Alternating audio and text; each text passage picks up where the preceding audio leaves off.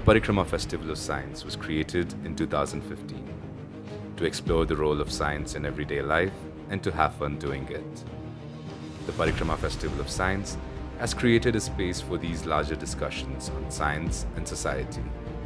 Every year, we reach out to a cross section of more than 300 children across international and government schools to foster a collaborative than a competitive discovery.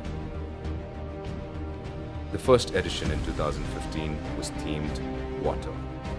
It was inaugurated by late Dr. APJ Abdul Kalam and was concluded by the Waterman of India, Dr. Rajendra Singh.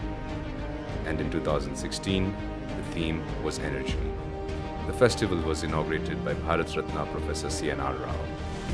The 2017 edition themed Soil and Agriculture. It was inaugurated by Professor Richard Zare, Department of Chemistry, Stanford University, and Ms. Audrey Kitagawa of United Nations. The 2018 edition was themed Air and was inaugurated by Bharat Ratna Professor C.N.R. Rao.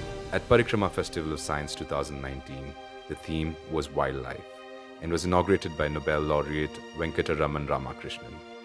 The sixth edition in 2020 explored marine life and was called Into the Deep.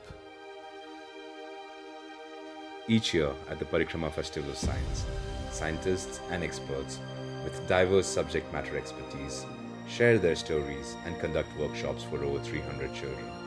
Our themes have always remained very relevant and contemporary. And naturally, the year 2021 is all about the pandemics. We will delve into the science, economics, social and political leadership and response, and human wildlife interactions in times of a pandemic.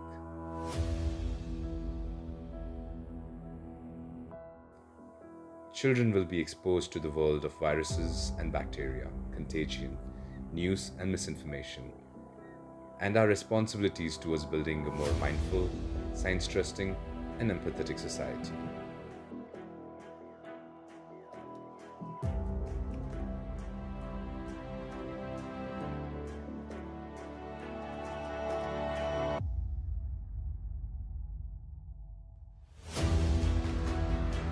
Come, let's celebrate the Parikrma Festival of Science together.